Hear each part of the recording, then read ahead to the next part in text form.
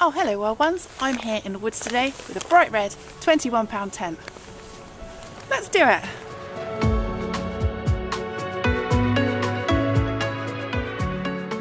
So this is the Eurohike Toco 2 two person single skin tent. It weighs 1.54 kilos, easy to pitch apparently, and is bright red, which is my main concern at the moment that I'm going to get seen. What with it being the very start of April and there's just no foliage to cover me and give me shelter, so I've chosen this obscure little spot where I don't think I'm going to be seen, but I'll stick it up and then I'll go and have a look around and check that I'm not visible. So yeah, let's get this bad boy up.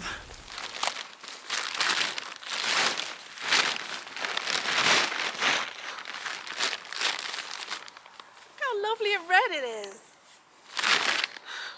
So stealthy.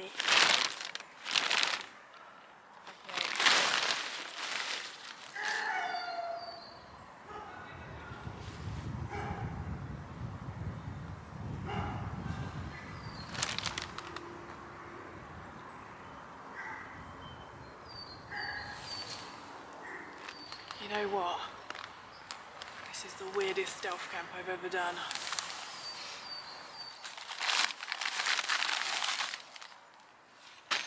Really close to paths here. I mean, down south where I live, I'm always really close to paths, so I've had to learn to blend in. This doesn't blend in. So we've got some fairly thin fiberglass poles, two sets. So these poles, they just go through these little black loops and then through these sleeves as well.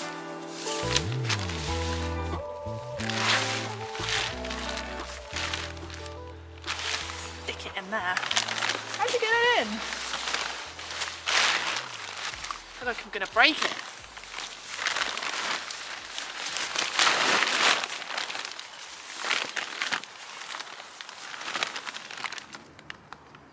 Oh, yes. Come on in. Look at that, it's starting to take shape. Just gonna get this bit in here.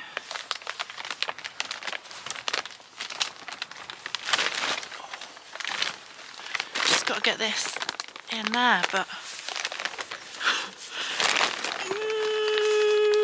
oh god! Oh wait! Oh god! I feel like I'm gonna snap the poles. Something wrong. Come on! Yeah. Go on, get it in.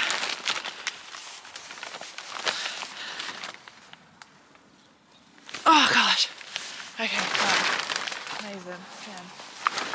Look at that. It's so diddly. I suppose that's why it's light. It's so little. You can almost imagine it's like one of the red Hillebergs. So what I'm going to do before I peg this in or do any more to it is have a look around from the paths and see if I can see this. So let's go have a look. Okay, let's head over this direction first.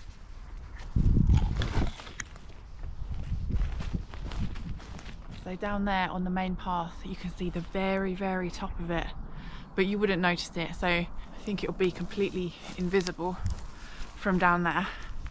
But look, I mean, from here, it's really obvious. Down there on the path, can't see it, but the paths I'm most concerned about these ones. So let's go have a little looky. Path. You know what? I can't see it. Oh yeah, I can. I can just see the very, very top of it. I don't think I'd notice it from here. Let's have a look further down. Can't see it from here. Oh, no, look. Okay, that's bad. Yeah, that's really bad. Really, really clear. Okay, so it's pretty well hidden from that direction and that direction is fine but over there got like a full frontal view of it so I'm gonna peg this in and then try and camouflage it in some way I might grab a load of dead ferns and branches and stuff and try and make sort of a mound in front of the tent to block it from the path it's got a little hat Ah, nice. Oh. That's pretty cute. Haven't been inside yet, but I think the first priority is going to be to try and conceal it a bit from that direction. So there's loads of dead ferns here. I think I'm going to grab a load and try and make like a mound here next to that tree and see if I can make a bit of coverage that way. Let's do it.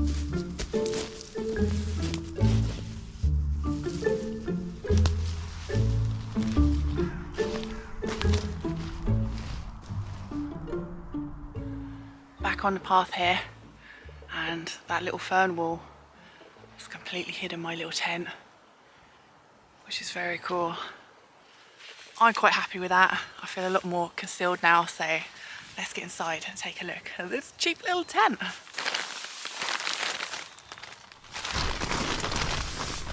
Hello tents. Oh, not, not overly long. Actually, it's not long at all. Uh, oh, okay. A couple of pockets.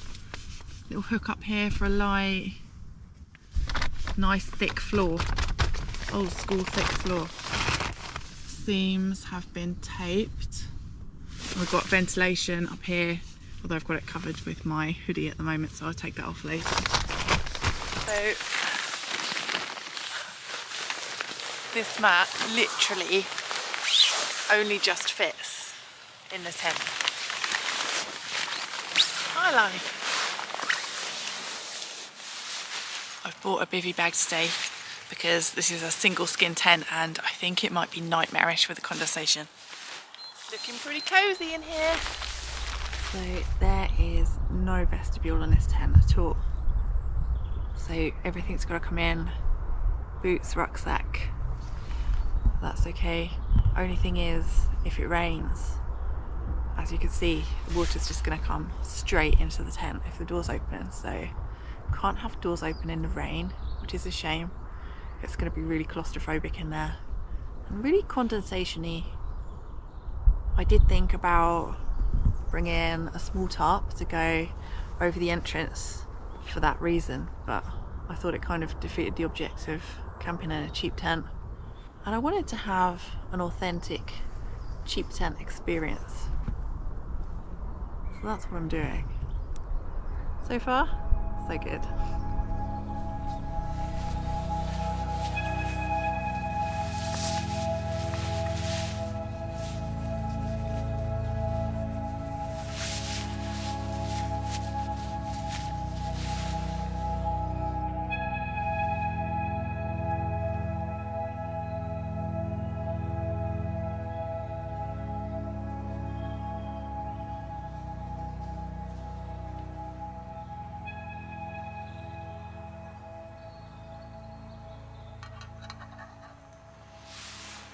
Just cooking my dinner. I've got a gorgeous homemade Thai kapow, so that's going to be really nice. There's a little bit of rain, nothing too heavy or anything, but it's a little bit difficult with this tent because there's no vestibule and the doors so sort of deep that the rain just comes in, but I'm in my waterproof. I've got my waterproof bivy bag over my sleeping bag, so it's fine. As I say, it's only a little bit of rain in the air really, so it's okay at the moment. Yeah, it's not ideal though. Oh yeah. It's gonna be good.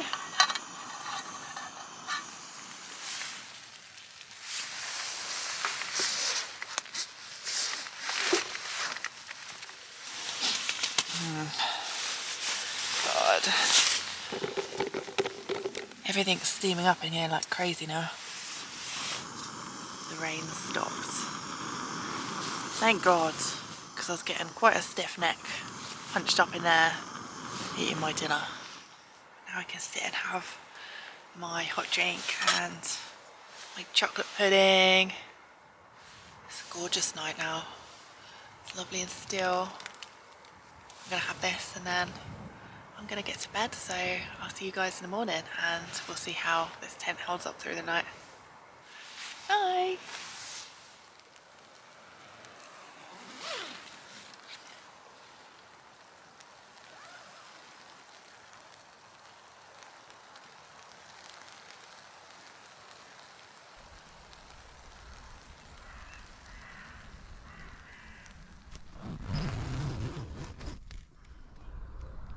Good morning. It is a lovely damp morning in the woods. I think I slept pretty well, six, seven hours. So yeah, really pleased. I mean, this tent is tiny. And if you're anything above five foot eight, you're not gonna fit in it. I kind of, my head was touching the door and my feet were touching that end. And with it being single skin and being really covered in condensation. That's not ideal. Some of my stuff is damp from condensation, but that would be the case in any single skin tent. So just had to wipe it up this morning. So yeah, small condensation issues, but to be expected. My main issue with it is it being bright red. It's the only colour I could find this in. And it makes me feel really on edge. Being in the woods in a bright red tent, I feel really, really visible. I seem to have pulled it off, but I'm looking forward to getting it packed away so that no one can see me. and I mean, it's down as a two man, but that's not a two person tent. There's no vestibule, so your stuff has to be inside the tent. There just wouldn't be physically enough room for two people and your gear. It'd be impossible. But yeah, overall, really pleased. This went a lot better than I thought it would of course. I don't know how it would do in real bad weather. We only had some light rain, which it did fine in, so it would be interesting to put it out. it's terrible weather. Let's see what happens there. Yeah, I'm gonna have some breakfast and I'm gonna get packed up and on my way. So thanks for watching this guys and I will see you again soon. Bye!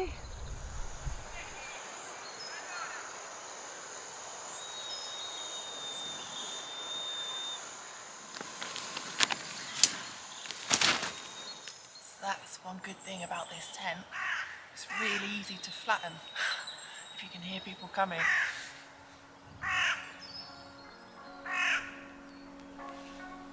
I feel nice and stealth now.